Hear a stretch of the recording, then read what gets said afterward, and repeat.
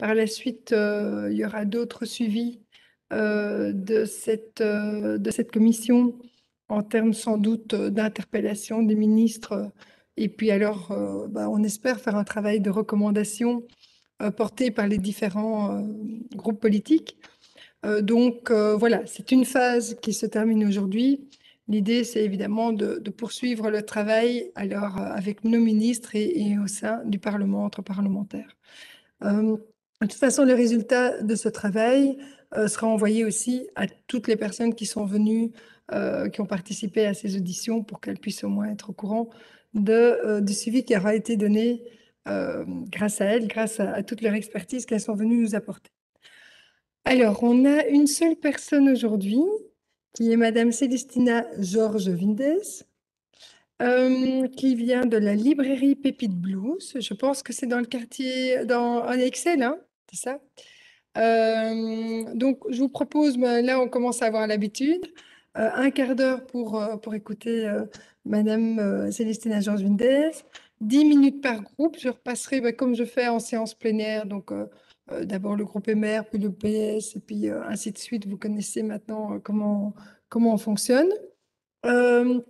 on aura donc, n'hésitez pas à poser surtout des questions, parce que ici, l'objectif, c'est surtout de creuser avec, avec notre intervenante, creuser les questions et creuser la thématique.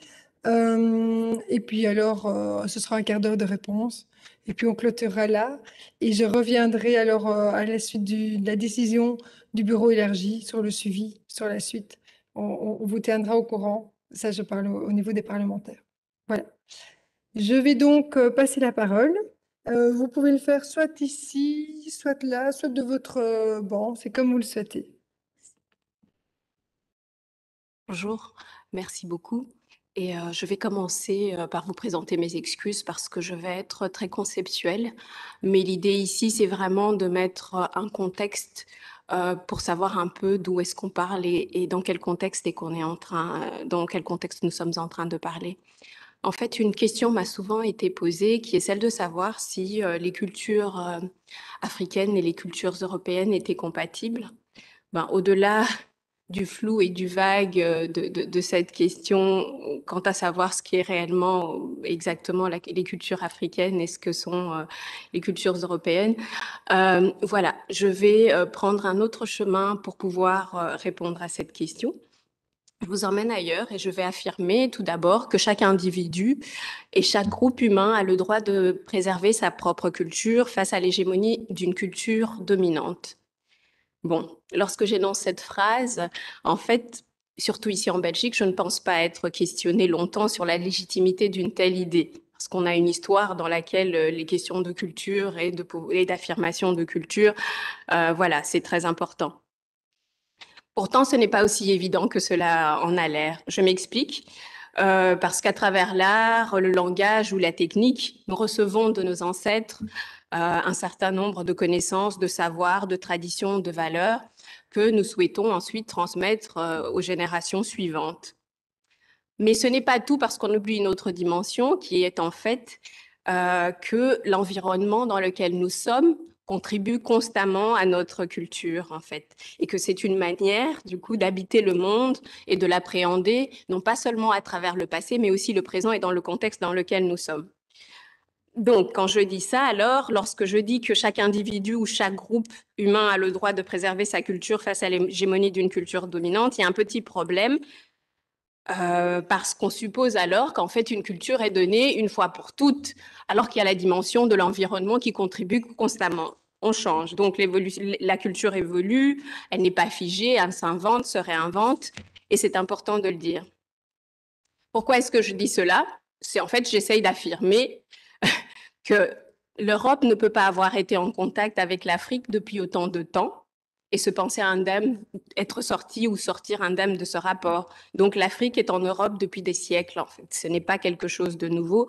Et je ne parle pas uniquement de la présence physique d'individus, je parle également de l'impact de cette présence sur la manière que les Européens ont de se percevoir eux-mêmes, de percevoir les autres, de, construire leur imaginaire, mais aussi euh, de manière générale, mais aussi la manière dont on occupe l'espace.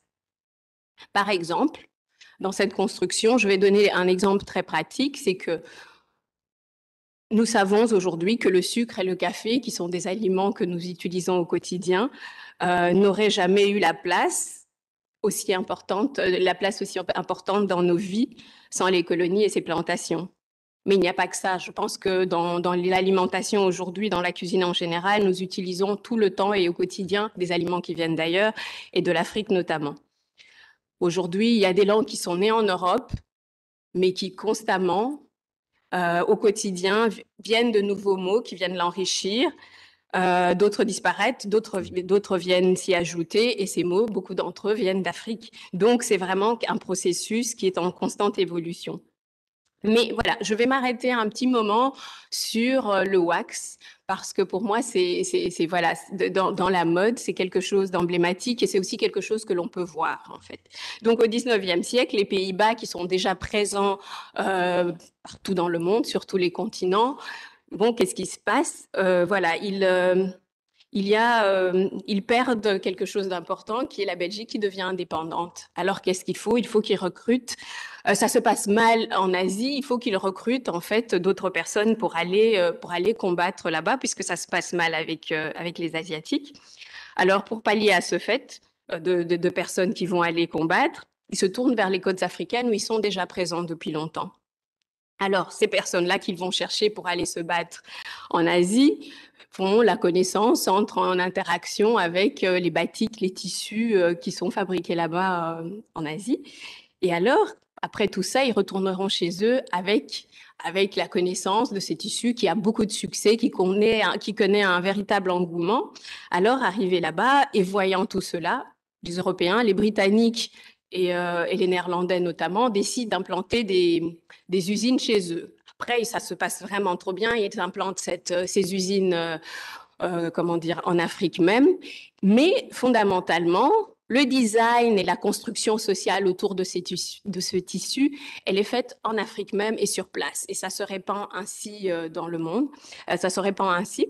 Mais surtout, je voudrais maintenant revenir à une actualité de ce tissu. C'est que voilà, depuis quelques années, il connaît un, un essor très grand. Je vais parler d'ici en Europe. C'est dans le monde en réalité, mais je vais parler ici parce qu'on le voit dans les rues de Bruxelles et il fait vraiment partie de, de notre quotidien.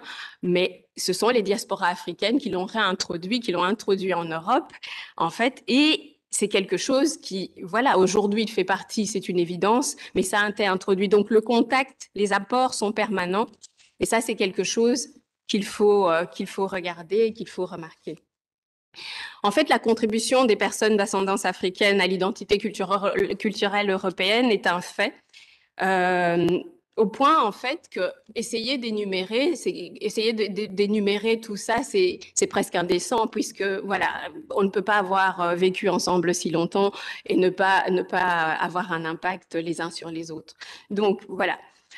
Euh, dès lors, en fait, poser la question de l'adaptabilité des cultures africaines avec les cultures européennes ou en Europe, c'est une question factice. Elle n'a pas de sens puisque les cultures africaines sont déjà présentes et depuis toujours, au point qu'on ne s'en rend même pas compte. Et de ce fait, elles ont transformé l'Europe et elles continuent de la transformer puisque voilà, c'est un processus constant. En fait, il est aussi important de le rappeler parce que il est très évident que l'Europe a eu un impact, euh, une influence sur l'Afrique et le reste du monde mais il moins, on l'affirme beaucoup moins l'inverse, et je pense qu'il est, il est important de rappeler cela. Et puisque la notion d'inventivité euh, dans la culture est essentielle, donc euh, il faut alors rappeler que même les contre-cultures participent à la construction générale de la culture, et y compris de la culture dominante ou des cultures dominantes.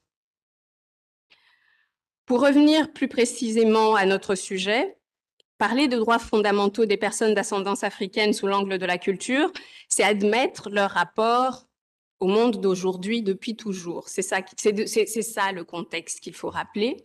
Il s'agit donc de reconnaître leur juste place dans la narration collective et la discrimination, elle se trouve dans le refus de cela. Et dans mon acceptation de la reconnaissance, la valeur de ce qui est digne d'être reconnu n'est pas donnée par le regard de celui qui reconnaît, elle est, elle intrinsèque à ce que l'on reconnaît ou à celui qui est reconnu. Dans ce cas, le déni ou le mépris de reconnaissance s'oppose alors aux chances d'émancipation sociale. On est donc là aussi dans les questions de justice sociale et par la suite à la construction d'une société démocratique telle qu'on la conçoit ici en Belgique. Et puisque la Belgique a ratifié la Charte internationale des droits humains et maintenant la Charte euh, des droits fondamentaux de l'Union européenne, de laquelle fait partie justement tout ce processus et euh, la présence et la contribution des personnes d'ascendance euh, africaine à l'identité culturelle européenne. Il s'agit donc de la visibiliser. Ce n'est pas quelque chose qu'il faut créer, c'est quelque chose qu'il faut visibiliser. Qu'est-ce qu'il faudrait faire alors? Les pistes, les pistes qui peuvent être là, c'est de faire en sorte que l'offre culturelle doive être diversifiée partout, y compris dans les médias et l'éducation.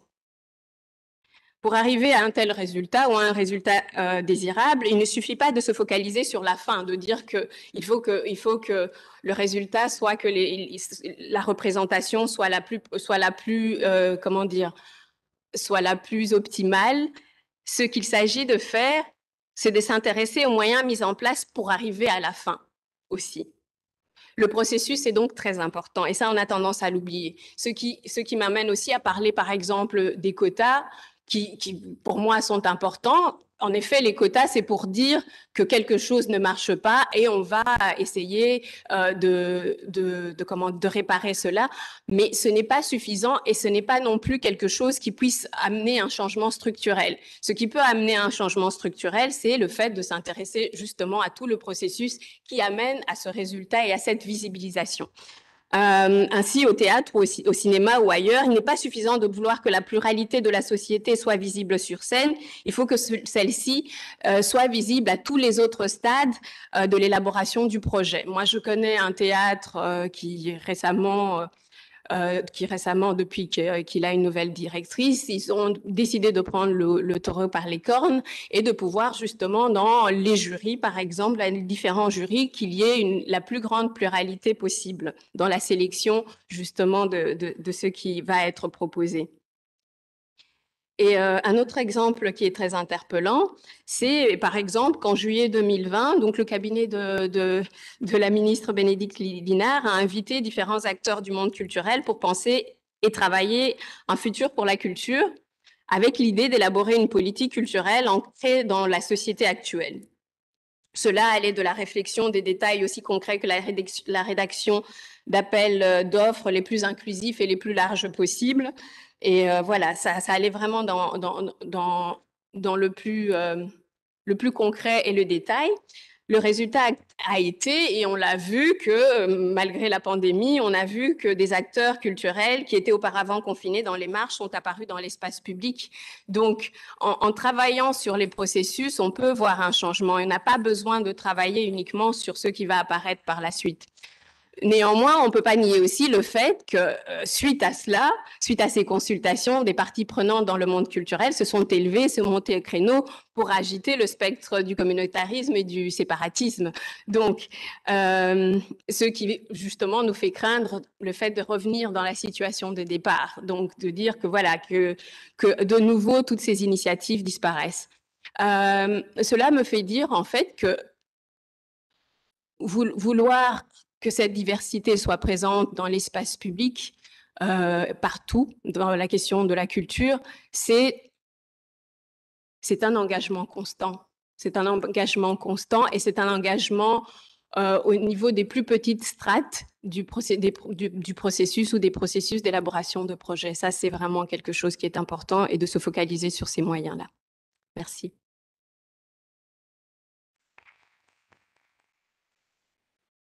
Merci beaucoup. Belle histoire avec la wax. Euh, je vais donc passer la parole à chaque groupe politique et je vais commencer par euh, Clémentine Barzin. Merci beaucoup, Madame la Présidente et, merci à notre oratrice du jour euh, pour ces explications. J'ai noté avec attention l'importance, selon Madame, de visibiliser davantage et c'est vrai que euh, je trouve dans un contexte où un peu de toutes parts, on, parle d'appropriation culturelle. Je, trouve que cette démarche plutôt de visibiliser est quelque chose qui est tout à fait important euh, et qui permet de travailler, de travailler en commun sur une image plus euh, représentative et plus globale de la société où chacun a euh, sa, carte à jouer et où chacun est respectueux de l'autre. Je trouve que c'est très important. Mais j'aimerais poser une question un peu concrète. Vous parlez, vous dites voilà, les quotas, c'est pas suffisant, il faut s'attacher au processus. Euh, et puis vous parlez de représentants. Euh, en fait, comment concrètement euh, voulez-vous, vous suggérez-vous, quelles sont les pistes concrètes que vous suggérez pour visibiliser justement? Est-ce que ce sont les personnes ou est-ce que c'est la, visibilité, la visibilisation de la culture et de part de la culture d'ascendance ou d'origine africaine Est-ce que vous pourriez être un peu plus concrète à ce sujet-là? Parce qu'effectivement, je pense aussi dans cette logique où, euh, j'évoque les risques de l'appropriation culturelle, je pense qu'effectivement, il est important que toute la société euh, se, mobilise pour euh, rendre compte de la diversité et que dès lors, les projets culturels sont importants à partager, à mettre en avant de concert. Je vous remercie. Merci beaucoup, Madame Marzin, pour vos questions. Je vais passer maintenant la parole à Madame Elius Merci, Madame la Présidente, et, merci à notre oratrice pour euh, sa présentation et, les réflexions qui, en découlent.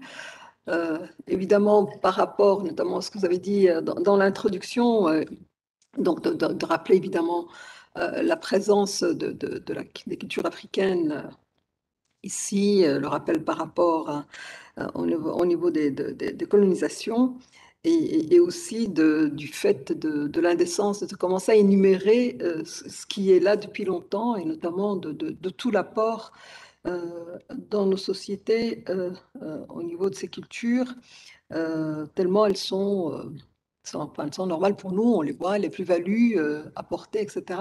Et donc, c'est vrai que ce terme d'indécence est, est important à rappeler, tellement pour la plupart d'entre nous, euh, la plus-value et l'apport est bien là et depuis très très longtemps.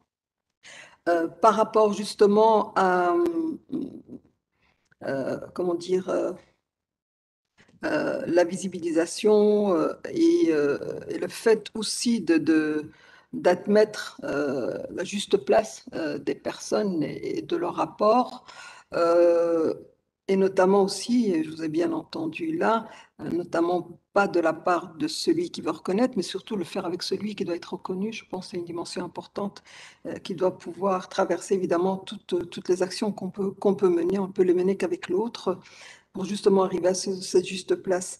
Et euh, par rapport justement au fait de visibiliser et, non créer, vous rappeliez notamment au niveau de l'offre culturelle, évidemment diversifiée, à travers que ce soit les médias ou l'éducation et, tant d'autres d'autres axes. Et justement, ma question aussi visait un petit peu les moyens. Vous parliez notamment des quotas. C'est vrai qu'il y a par moments ce que j'appelle un peu des électrochocs à un moment donné à devoir faire quand une société euh, refuse d'admettre ce qui paraît euh, normal, logique. Euh, et, et, là, par rapport aux moyens dont vous parliez, justement, c'est ce qui nous intéresse, c'est comment arriver à faire en sorte de pouvoir euh, rendre cette visibilité effective euh, Quels sont les moyens pour vous à, court, à moyen et, long terme et, sur quel type euh, d'actions vraiment concrètes on peut vraiment pouvoir y arriver? Voilà, ça c'est ma petite question. Merci beaucoup. Merci beaucoup. Alors, Monsieur Obolensky demande d'excuser son absence et donc je passe tout de suite la parole à Monsieur Suarez ou à Madame Tar. Merci Madame la Présidente. On va, oui, on va se compléter. je voulais également, au nom du groupe Ecolo, vous remercier infiniment pour cet exposé de qualité. Donc, important de rappeler le contexte. Hein. Évidemment, la culture africaine fait partie intégrante de la culture occidentale. C'est important de le rappeler pour celles et ceux qui ont tendance parfois à l'oublier. Euh, vous dites à juste titre qu'il faut, euh, puisqu'il faut aller directement droit au but et poser nos questions. Je vais donc euh, m'y atteler. Alors, vous avez donc insisté sur l'importance des moyens euh, parfois même plus que les objectifs à atteindre. Et je voulais vous entendre sur les moyens à mobiliser quand ils sont contraignants. On parle, vous avez vous-même cité les quotas. Euh, certains parlent d'objectifs contraignants. Euh, alors évidemment ici, l'intervention se fait sous l'angle, le prisme de la culture. vous avez rappelé l'importance de visibiliser les personnes afrodescendantes partout, c'est important d'insister sur le partout, donc dans les médias, quels que soient d'ailleurs les domaines d'activité. Que pensez-vous justement d'un instrument contraignant quand malheureusement des objectifs ne sont pas atteignables ou, peinent en tout cas à, être atteints quand nous savons que ça fait maintenant plus de, trois décennies que nous parlons de la lutte contre le racisme et que nous peinons encore à, à, mettre en œuvre des politiques efficiente. Voilà, je vous remercie. Je vais céder la parole à mon collègue pour compléter. Merci Madame la Présidente. J'aimerais euh, tout d'abord m'excuser pour mon retard puisqu'on était en séance plénière de la Fédération en ligne Bruxelles. J'en parle parce que j'ai entendu euh, la fin de l'intervention de, Madame euh, Pindes. Et j'aimerais lui poser la question, une question tout, d'abord globale. Comment gagner la bataille culturelle? Euh, parce que vous avez parlé de, l'expérience euh, initiée par la ministre Bénédicte Linard, euh, à laquelle il y a ce que j'appelle une contre-réaction, séparatisme, communautarisme. comment, selon vous, aujourd'hui, nous, politiques, pouvons contribuer à gagner cette bataille culturelle? Est-ce que le monde culturel belge est, selon vous, à partir de votre expérience, assez conscient de l'héritage culturel africain de notre société? Et est-ce que euh, outils, les outils qui sont proposés, les activités qui sont proposées aujourd'hui, euh, contribuent-ils efficacement au changement des mentalités? Sinon, euh, pouvez-vous nous donner des exemples, par exemple, de choses qui ont été initiées, que vous, de bonnes pratiques finalement, qui ont eu lieu et euh, à partir desquelles nous pouvons partir, qui peuvent nous inspirer, nous, politiques? Vous avez parlé des jurys, vous avez parlé de la visibilité sur scène et derrière la scène. Vous avez donné l'exemple des jurys. Est-ce qu'il y a d'autres mécanismes, processus que vous voyez concrètement et qui peuvent contribuer finalement à sortir de ce leurre de visibilité? Parce qu'on peut mettre des gens en avant sans véritablement leur donner le pouvoir. Et donc, euh, ça, c'est une question qui est, concrète. Euh, ensuite, le lien avec l'enseignement. C'est absolument important si nous voulons gagner la bataille culturelle parce que nous, en tant que politiques, nous devons aussi penser aux générations futures, dans 25, 50, 100 ans, euh, comment est-ce que le lien peut être fait à partir de cette bataille culturelle avec le monde de l'enseignement? Vous avez une superbe librairie.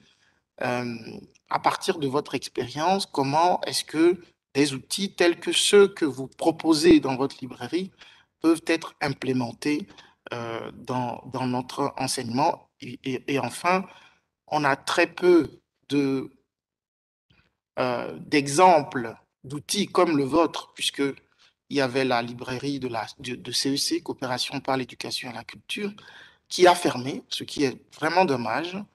Euh, j'ai lu mes premiers livres euh, hein, de la francophonie africaine en arrivant à Bruxelles. Comment est-ce que nous pouvons, nous politiques, prendre en compte vos demandes pour stimuler ce genre d'outils? Voilà, merci beaucoup. Merci beaucoup à vous. Alors, euh, je dois refaire un petit peu. Je dois passer la parole maintenant. Je pense. Euh, euh, est-ce que vous pouvez lever la main, ceux qui veulent encore prendre la parole? Monsieur Compagnie? Et... Oui. Et vous aussi, Madame Beauméné? Allez, Madame Beauméné, puis Monsieur Compagnie? On fait comme ça? Je pense que j'ai oublié personne. Hein. Donc, Madame Beauméné. OK. On ne vous entend pas, Madame Bomini. Voilà. Merci, Madame la Présidente. Merci euh, à Madame qui vient de présenter un sujet. Je pense que c'est vraiment très important. Euh, vous avez parlé de culture. Effectivement, la culture est, très importante. Parce que On ne vous entend pas, Madame Bomini. J'enlève le micro, ça c'est mieux Beaucoup mieux. Beaucoup mieux, ok. Merci beaucoup, Madame la Présidente. Euh, merci à notre oratrice qui a vraiment euh, résumé une situation très importante. Effectivement, la Belgique, surtout Bruxelles, est une ville cosmopolite. On a vu, il y a presque 110 000 afro-descendants qui, dans la Belgique, voilà, et c'est quand même important. Et ces afro-descendants ont ramené ici pour une partie leur culture. Ça aussi, il faut en tenir compte. Vous avez bien dit que la culture n'est pas figée parce que la culture subit son environnement. Moi, ma question est vraiment axée sur la jeunesse parce que je sais que les, les, parents qui sont arrivés ici sont arrivés avec leur culture, ils ont essayé de préserver leur culture et le travail de vivre ensemble est important aussi dans les quartiers parce qu'il y a des partages de culture, ça c'est important pour euh, le devenir de Bruxelles, voilà, ça c'est important. Mais la jeunesse, on le sait, on regarde les jeunes, les jeunes au-delà des afro-descendants, dans toutes les cultures, euh, qui se partagent plusieurs cultures ici à Bruxelles, euh, écoutent la même musique, s'habillent de la même façon, eh ben, souvent n'ont pas ingurgité la culture d'origine.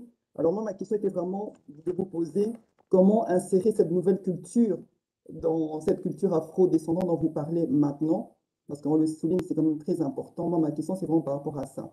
C'est vrai que la, culture est importante, mais il n'y a pas une nouvelle culture dans la mondialisation par rapport à ces jeunes. Comment l'insérer dans la culture euh, ici à Bruxelles? Voilà, c'était vraiment ma question principale. Merci. Merci beaucoup, Madame Baumelier. Et enfin, Monsieur Pierre Compagnie. Vous avez la parole, Monsieur Compagnie. Je vous ai vu. Il y a oui, toutes mes, toutes mes, excuses. Hein. Je suis euh, ici. Bon, en tout cas, merci beaucoup, Madame la Présidente, pour, euh, je crois, cette culture et ce débat que tu arrives à établir euh, pour nous tous. J'ai entendu, mais je suis arrivé un tout petit peu en retard parce que j'ai été branché, j'ai été débranché, mais ce n'est pas, pas si grave, mais j'ai entendu euh, le, le, plaidoyer, j'oserais ainsi dire, euh, de celle qui nous a donné des belles leçons, peut-être des leçons d'humilité aussi.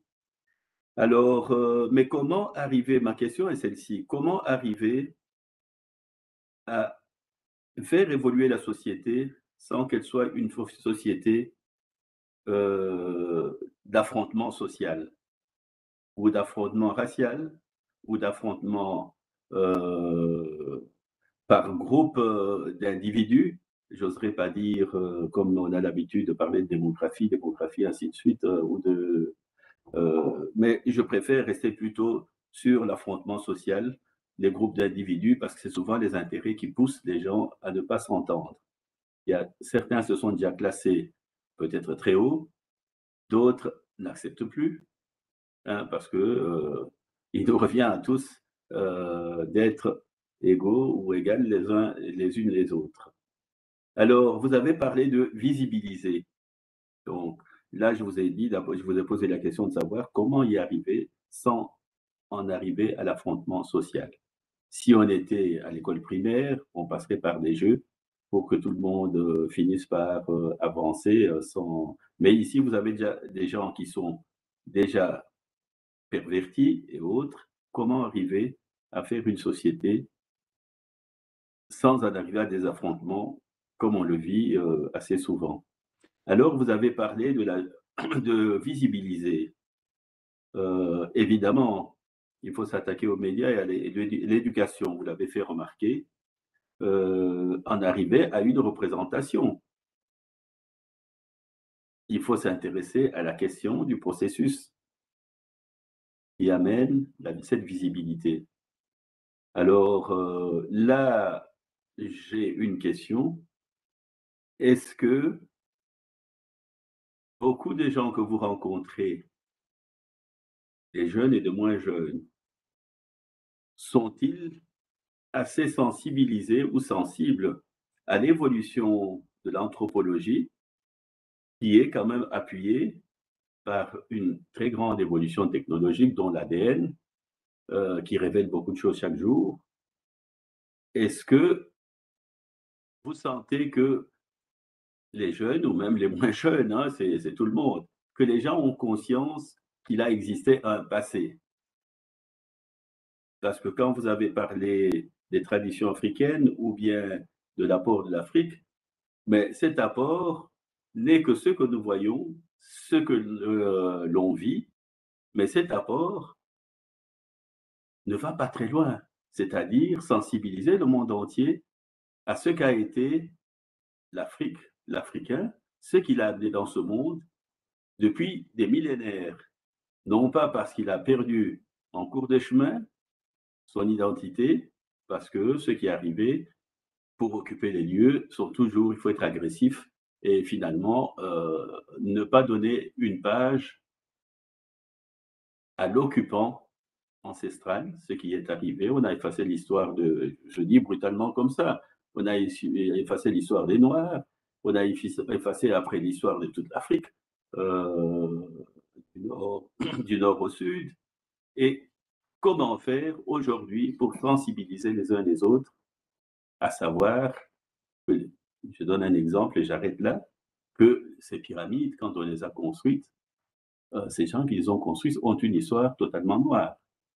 Ils partent d'un pays qui est foutu aujourd'hui, qui s'appelle le Soudan, où l'on peut trouver des vestiges des premiers pyramides, mais on ne nous a jamais appris que ça existait. J'ai étudié au Congo, jamais on a amené en excursion par là. Voilà, ça c'est ma façon de voir les choses, mais je vous pose la question de savoir comment vous, qui avez quand même suffisamment d'outils et suffisamment de connaissances, vous pouvez arriver à amener cette société à se comprendre, à avancer sans affrontement social, parce que c'est là où nous en sommes souvent. Merci. Merci, Monsieur Compagnie. Et donc, je passe la parole. Je pense que j'ai oublié personne du côté des députés. N'hésitez pas à, vous signaler. Donc, je peux vous passer la parole pour des réponses, Anna.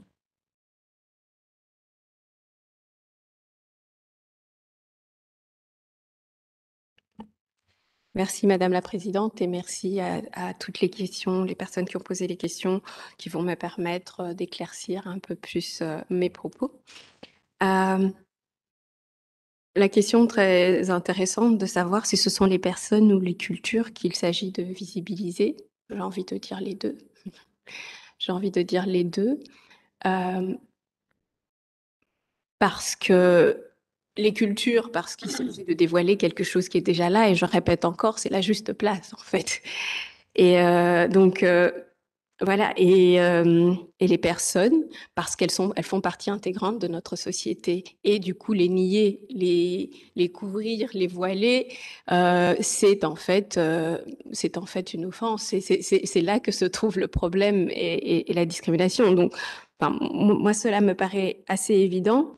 Et je pense qu'à partir du moment où euh, la présence de cette culture millénaire est, présentée, elle est visible, du coup, les questions d'appropriation culturelle aussi euh, vont pouvoir se poser différemment, puisque la plupart du temps, s'il y a appropriation culturelle, c'est parce qu'il s'agit, euh, comment dire, de prendre et, pour euh, le dire avec euphémisme, d'emprunter à, d'autres cultures, parce que ces cultures-là, justement, sont invisibilisées. Du coup, on peut prendre sans avoir trop de crainte que, voilà, que cela soit remis en question sur la place publique. Mais à partir du moment où ces populations et ces, apports sont reconnus directement, voilà, la question de, l'appropriation culturelle est, euh, comment dire, est, abordée différemment parce qu'on on, on, accepte et on visibilise l'apport de ces populations ou de ces groupes euh, dans la narration collective, mais aussi dans la construction euh, commune euh, de la société. Donc c'est juste quelque chose qui est visible parce que ces gens sont déjà là et, ils façonnent notre société au quotidien, qu'ils soient comment dire, inconnus ou anonymes, ou qu'ils soient, qu'ils présents au quotidien. Donc ça, c'est c'est vraiment important. Et je pense que je ne sais pas si je dois éclaircir euh, là-dessus ou si c'est clair.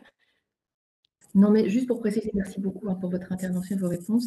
Juste pour préciser, c'est vrai que euh, voilà, moi je trouvais intéressant et, tout à fait euh, voilà, informative votre regard sur le, besoin de, visibilité.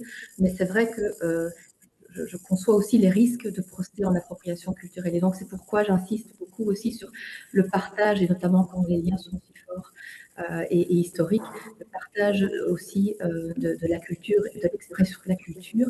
Et donc, effectivement, que, chacun puisse aussi défendre euh, la présence de parts culturelles d'origine africaine, notamment, notamment dans notre pays. Oui, donc euh, je, merci. Mais du coup, je pense que l'appropriation culturelle est favorisée par le fait que ces cultures-là sont invisibilisées. À partir du moment où c'est très clair, on ne peut pas s'approprier euh, comme ça, euh, comme quelque chose qui est disponible et que personne et, dont personne ne sait comment dire l'origine. Donc voilà, je pense que il y a un peu de cela, que le fait de visibiliser les différentes cultures, les différents apports, permet aussi de contrer l'appropriation culturelle. Voilà, je pense que vous avez répondu à cette question. Alors, je parlais, tout je parlais des quotas. Pour moi, les, je répète ce que j'ai dit tout à l'heure, c'est que les quotas sont, sont, le choix du désespoir. C'est vraiment de dire, voilà, ça ne marche pas, il faut à un moment donné imposer. Mais généralement, aujourd'hui, quand on conçoit les quotas, on les conçoit sur la fin. Donc, euh, les, les, personnes euh, qui vont apparaître et tout ça. Et, euh, et quand je parle de processus et de processus contraignants, c'est de venir à la source. Donc, je vous parlais tout à l'heure de l'exemple de ce théâtre qui a décidé dès le départ, par exemple, de, diversifier les jurys. Euh, donc, il n'y a eu en fait aucune consigne sur ce qui devait apparaître sur scène par la suite. Euh, la consigne, enfin, le travail en amont a été sur le fait de réunir des acteurs du monde culturel les plus divers possibles. Et c'est vrai qu'aujourd'hui, quand on parle de diversité, on a tendance à, comment dire, à, se focaliser sur la diversité raciale, alors que la diversité, ce sont, euh, ce sont ça, vient vraiment de partout. C'est la diversité générationnelle, c'est la diversité euh, d'un point de vue de la mobilité, parce que nous ne sommes pas égaux face à cela. C'est vraiment toute cette diversité qu'il s'agit de visibiliser. Mais évidemment, ces personnes ne vont pas être cherchées n'importe où. Ce sont des personnes qui se sont déjà illustrées par leur intérêt et, euh, et, et leur travail dans le domaine de la culture. Donc, il ne s'agit pas, ce n'est pas un choix de de prendre n'importe quelle personne ou de brader euh, la qualité de ce qui, de ce qui doit être travaillé. Il s'agit vraiment de, de pouvoir. Et ces personnes, ces personnes-là se trouvent dans la société. En fait, il ne, il ne s'agit pas de les inventer, elles sont bien là. Donc, je pense euh, effectivement que et les moyens contraignants, du coup, où se trouveraient-ils? Peut-être d'obliger justement à ce que euh, à ce que cette diversité soit là et de, de, de, demander à ce que les, les, jurys, en ce qui concerne euh, comment dire, le monde culturel, soient les plus divers possibles, de voir un peu s'ils ont contacté toutes les personnes euh, et, ou toutes les organisations. C'est aussi travailler avec les organisations au-delà des personnes et diverses organisations du coup, ça, ça serait les moyens contraignants. En fait, pour être honnête, moi, plus que les quotas de la représentation, sur lesquels je ne crois pas vraiment, parce que du coup, il y a toujours ce soupçon que, voilà, que on, est allé chercher des personnes, même si elles sont compétentes, qu'on est allé chercher des personnes parce que parce qu'elles ont une couleur spécifique ou une origine spécifique ou parce que voilà parce que e, e, elles, euh, comment dire elles sont porteuses de déficiences physiques ou, tout cela donc voilà moi je ne, je ne crois pas vraiment à, cette représentation là si on ne travaille pas euh, sur le fond et, sur l'amont et ce travail-là, du coup, on peut aussi le mettre en connexion avec ce qui a été dit sur l'enseignement, mais j'y reviendrai un peu plus tard. Euh, y a la question de savoir comment gagner la bataille culturelle. C'est une bonne question euh, parce que moi j'ai un doute sur le fait qu'il y ait une bataille culturelle. Bah, et, en fait, ça, ne m'intéresse pas tellement de savoir s'il y a une bataille culturelle parce que je pense qu'aujourd'hui, et on le voit, euh, enfin c'est très très intéressant de voir en Belgique. Aujourd'hui, moi, je n'ai pas l'impression que la plupart des personnes et d'organisations afrodescendantes sont dans une bataille. Alors, je peux comprendre que cette question vienne effectivement du politique et je pense que c'est important que vous posiez cette question-là de cette manière. Euh, mais pour la société civile, ici en Belgique, les personnes vivent juste et, font leurs projets. En fait, ce qu'elles font, c'est de... Euh, euh, c'est de travailler, de construire des projets malgré et en dehors des, sentiers, euh, comment dire, qui sont autorisés. Et du coup, c'est aussi là le risque, je pense. Les contre-cultures, évidemment, c'est bien. Elles, euh, elles sont une richesse pour la société, mais du coup, elles, peuvent se construire aussi en opposition. Et ça, c'est le risque que nous courons. Alors, je pense qu'aujourd'hui, euh, les personnes d'ascendance africaine, c'est quelque chose que je vois émerger, y compris chez les, jeunes, sont assez conscients de, leur place. C'est de l'autre côté où, je pense que la société n'est pas consciente de, la prise de conscience de ces personnes qui, en fait, sont, euh, elles ne s'excusent pas d'être là, elles savent qui elles sont la plupart du temps. Et donc, elles ne demandent pas l'autorisation de pouvoir s'exprimer. Et des projets sont faits, même sans subside, même sans soutien les projets sont faits. Alors, le monde politique, qu'est-ce qu'il va faire? Est-ce qu'il va regarder ou est-ce qu'il va prendre euh, acte de, ce qui se passe euh. Euh, et pouvoir participer et contribuer en fait que cela soit quelque chose de réel et que cela participe au monde réellement commun? Parce que le monde est commun mais c'est de voir en fait comment du coup chacun se situe et que nous construisons cela ensemble mais je pense qu'il n'y a pas il n'y a pas de grande attente là-dessus. Et c'est ce qui est intéressant à voir chez les jeunes aujourd'hui, c'est que voilà, ils, euh, font des projets et ils, font ce qu'ils euh, ce qu'ils doivent faire. Euh, et la question de savoir si le monde culturel est conscient de cette présence et de cette contribution africaine depuis des siècles euh, en Europe, force est de constater que non. En fait, euh, les gens ne sont pas conscients de cela. Ils ne sont pas conscients, par exemple, de la présence africaine en Europe euh, depuis le XXe siècle, depuis le XVe siècle et peut-être même avant, par exemple, et que de dire que cette présence-là est diluée dans la société et que fort probablement beaucoup de personnes ici sont elles-mêmes dans leur ADN porteuses, comment dire, de cette histoire-là. Et donc, très peu de gens sont conscients de ça et que, voilà, c'est quelque chose, c'est un travail à faire, je pense. Et, euh, et du coup, ça rejoint aussi la question de Monsieur Compagnie, qui était de dire, euh, voilà, qui, qui, je pense que M. Compagnie se référait, quand il parlait du, Soudan, il parlait notamment du, royaume ou de l'empire Couche, je pense, au Soudan et tout ça, qui lui-même était en contact avec l'Égypte, parfois en guerre, parfois en, symbiose, et ils travaillaient ensemble. Forcément et sûrement, il y a eu une influence sur l'Europe, mais ça, c'est quelque chose, c'est une histoire commune de l'humanité euh, dont, les que dont les personnes ne sont pas conscientes. Et donc ça, c'est vraiment important de rappeler. Et du coup, ça me ramène à la question de M. Euh, Suarez sur l'enseignement. Et où est-ce que, par où est-ce que ça passe? Cela passe par l'enseignement à l'école, donc par un programme officiel qui prenne en compte euh, toute cette histoire euh, commune de l'humanité, puisque c'est bien de cela qu'il s'agit de, de, faire, parce que et c'est une question de choix, en fait. C'est une question de choix. On a tendance à, on a tendance à dire, bon, voilà, quand on, on décide de, de, de, mettre tel programme euh, euh d'histoire, par exemple, c'est comme si cela venait euh, de, de, c'était une question métaphysique qui venait, qui s'imposait, alors que c'est une question de choix. Euh, et, et c'est ce qu'on voit. Moi, j'ai un fils de 16 ans et j'étais très étonnée lorsqu'en deuxième euh, secondaire, il m'a dit qu'il apprenait que, que, enfin, étonné, non, mais j'étais comment dire, surprise, enfin oui, euh, d'apprendre qu'il apprenait euh, uniquement le fait que euh, le roi Léopold II était le roi bâtisseur, ce qu'on ne peut pas nier. D'un certain point de vue, on peut voir qu'effectivement, il, y a, il y a eu des choses qui ont été faites, mais à quel prix, à quel coût? Et donc, c'est important aussi que on peut aussi voir ce roi-là comme le roi sanglant et que c'est comme ça, parce que, et ça fait partie de notre histoire, ça fait partie de l'histoire de la Belgique. Et il s'agit de l'assumer. Je pense qu'assumer euh, une histoire sombre, comment dire, de son pays, une partie sombre de son histoire, ce n'est pas être coupable, c'est bien au contraire se comment dire, se distancier de ça et s'engager pour quelque chose de différent. Par contre, quand on s'obstine à dire que quelque chose, euh, comment dire, des exactions qui ont été commises, voilà, elles sont mineures ou ne comptent pas, ça veut dire alors que nous défendons ces, nous, défendons ces, ces valeurs-là, ces pratiques-là. Et ça, par contre, ça pose problème. Et ça pose problème. Et ça, ça peut amener à une confrontation. En fait, le problème, je pense que la confrontation euh, pourrait venir de là. Et euh,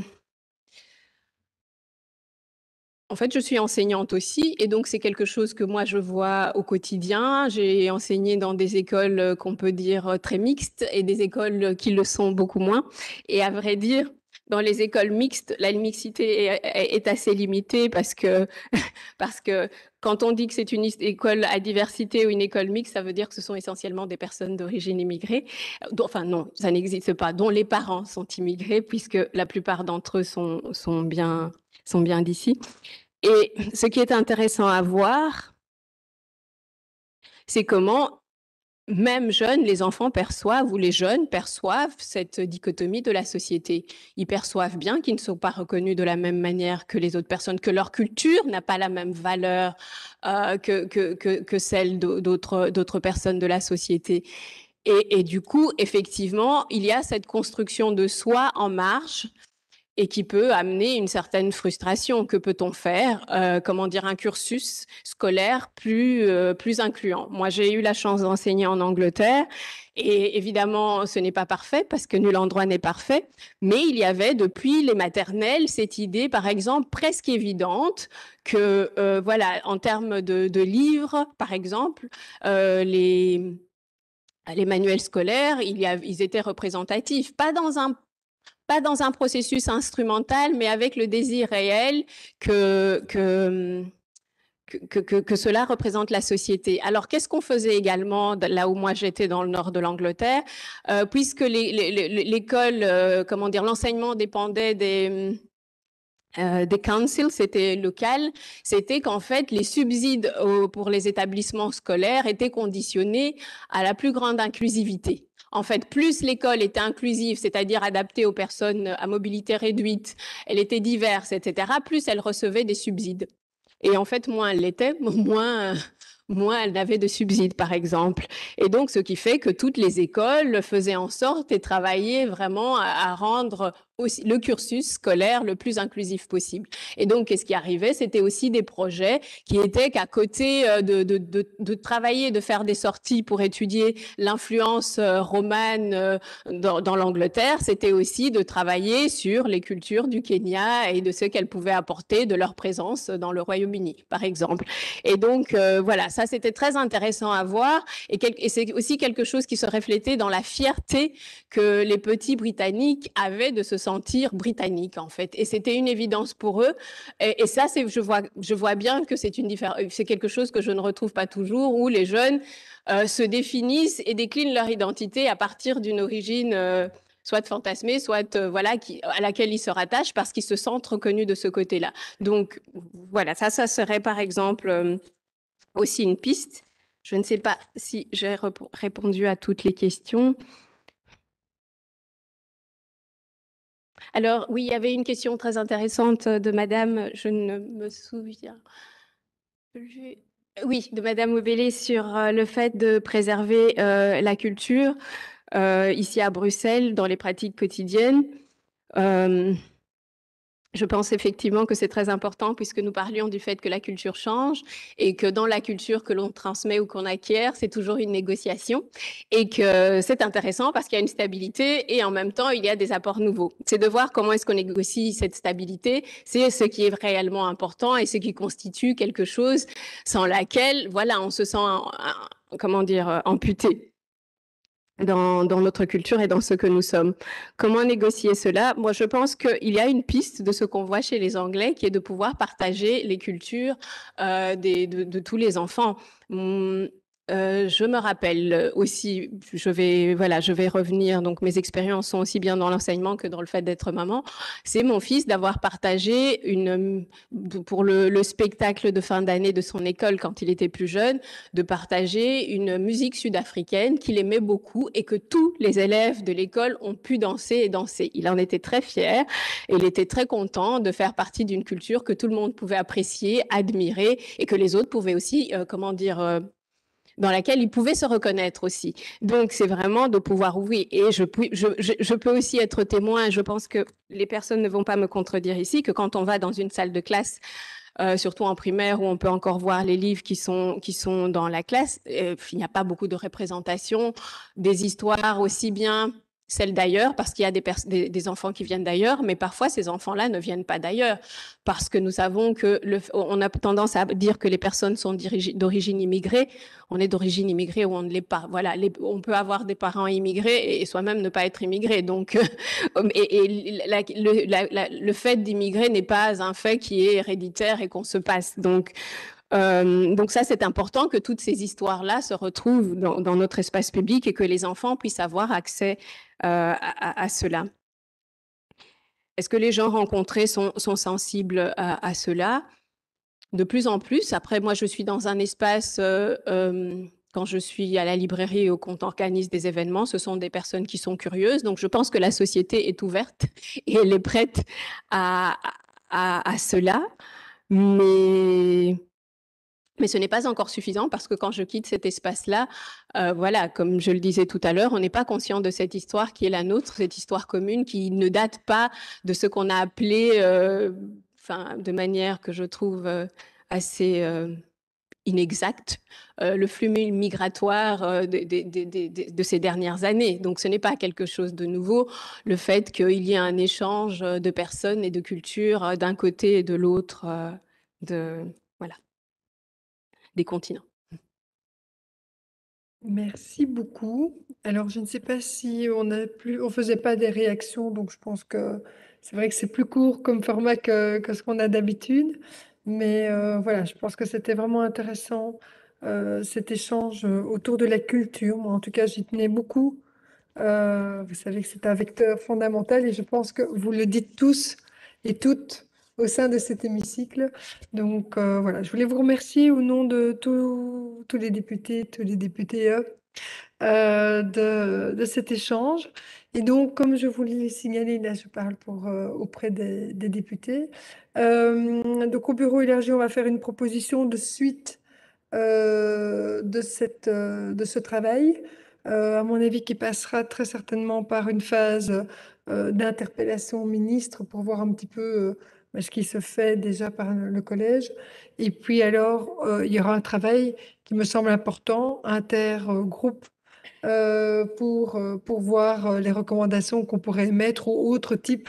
ça, c'est à vous à décider du type de travail. Mais en tout cas, je pense qu'il est important de faire un suivi à la suite de toutes ces, de toutes ces auditions. Voilà, je pense que nous allons s'arrêter là et je vous souhaite. Oui, vous avez encore un dernier mot? Pas de problème, mais n'oubliez pas d'allumer votre micro. Cela me semblait évident, mais euh, c'était plutôt sous-entendu et je pense qu'il est euh, utile de le rappeler. C'est par exemple dans l'enseignement, c'est la formation même des, enseignants. En fait, euh, c'est là même que, que se trouve toute la problématique. Il faut que la formation même puisse sensibiliser les enseignants à la diversité euh, culturelle et ethnique de notre société. Bon, toute la diversité d'ailleurs, pas seulement culturelle et ethnique. Oui, merci beaucoup pour cet ajout. Voilà, ah, je vois que Monsieur Compagnie, à vous dites au revoir ou vous voulez intervenir? Non, non, je ne dis pas au revoir. Euh, Madame la Présidente, oui. je voulais tout simplement appuyer euh, c'est que euh, notre conférencière vient de dire à propos de l'enseignement en Angleterre, j'ai été drôlement surpris quand j'ai été élu bourgmestre ici de trouver ma photo affichée en grand dans l'école parce que ma petite fille qui est trop bavarde, euh, je ne sais pas comment elle avait compris ces élections-là, euh, elle, elle, leur a dit, bah, euh, donc mon grand-père, le black, il, donc quand j'arrive, je trouve ma photo affichée dans l'école. Mais je n'étais pas le seul, hein. Euh, les enfants des, parents indiens, les enfants des parents euh, quiconque avait quelque chose dans le monde de, de, de surprenant amené à l'école. Et l'école avait comme habitude d'avoir des trimestres comme ça où l'on affiche les personnalités du monde. Et quand je suis arrivé, ben, j'étais là avec mon petit-fils, celui qui me ressemble encore le plus. Il était chaque fois en train de crier à toutes les, les enseignantes qu'il trouvait euh, My papi, my papi. Donc, il était fier, en train de présenter son papier partout et les enfants qui me suivaient. Voilà, ça c'était un petit exemple. Et j'ai failli donner aussi une conférence ici dans une école, l'école anglaise, anglaise où l'on m'attendait à Tervuren, mais il y a eu Covid parce qu'ils voulaient voir euh, une autre culture, euh, tout simplement. Voilà. Merci, Monsieur Compagnie, d'avoir partagé cette euh, expérience. Je vais donc m'arrêter là. Et, euh, mais le travail se poursuit. Et donc, à tout bientôt. Au revoir. Merci beaucoup. Au revoir.